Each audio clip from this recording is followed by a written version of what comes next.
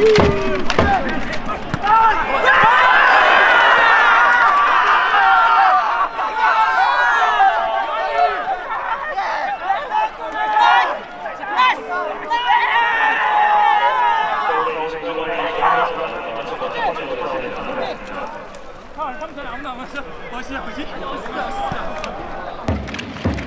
서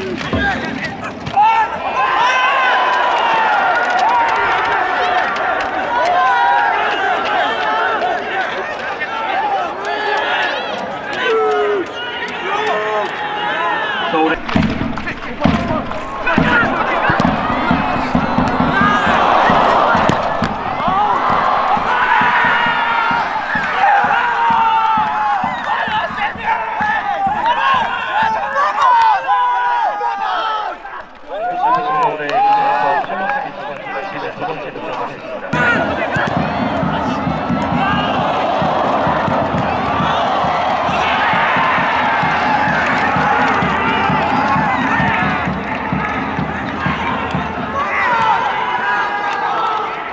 FC 서울의 26번 팔로세비스 선수가 팀의 두 번째 득점을 했습니다.